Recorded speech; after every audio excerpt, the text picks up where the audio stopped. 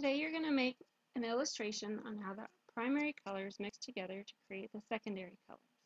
We're going to be using Microsoft Paint again.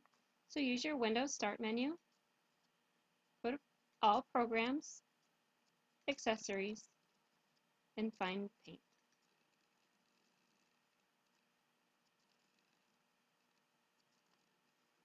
Choose a shape that you're going to use. I'm going to choose the oval shape, and you're going to draw three of those shapes. You want your shapes to overlap each other.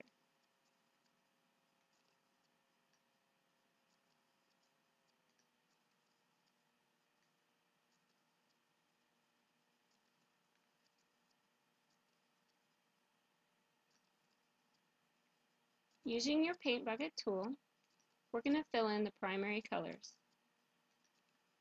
on the outside. So yellow, blue, and red. Where the shapes overlap together, we're going to add in the secondary colors.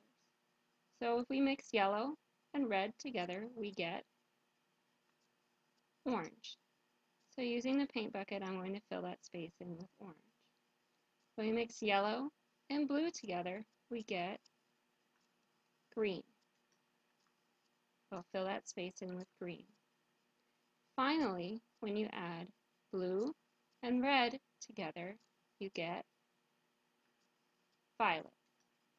I'll fill in the last space with violet. Now I have this remaining space in here where all the colors come together. If you have a space like that, you can use a medium size or medium colored gray to fill in that space. Save your work.